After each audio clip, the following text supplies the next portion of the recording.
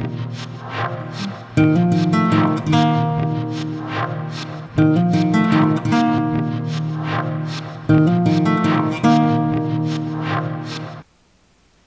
sevgili balıklar. Bugün 23 Ekim Çarşamba, Merkür günündeyiz. Ay İkizler Burcu'nda ilerliyor. Bugün ev e, yaşamanız biraz öne çıkabilir. Evde zaman geçirmek isteyeceğiniz bir gün olabilir.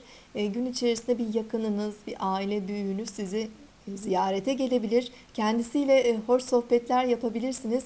Belki geçmişten kalan bazı konular tekrar gündeme gelebilir. Daha önce çözümlenmemiş e, bir sorun varsa aranızda e, onları çözümlemek için de bugünü değerlendirebilirsiniz.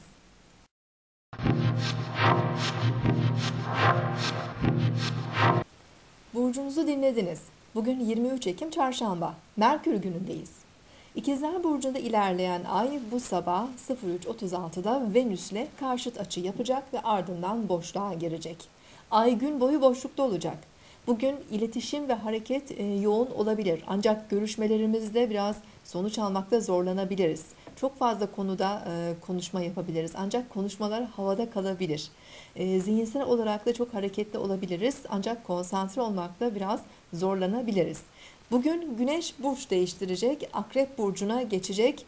21 Kasım'a kadar Güneş Akrep burcunda ilerleyecek. Bu süreç içerisinde özellikle su grubu burçlar, Akrep, Balık ve Yengeçlerin enerjisinin e, daha fazla yükseldiği verimli bir dönem olabilir.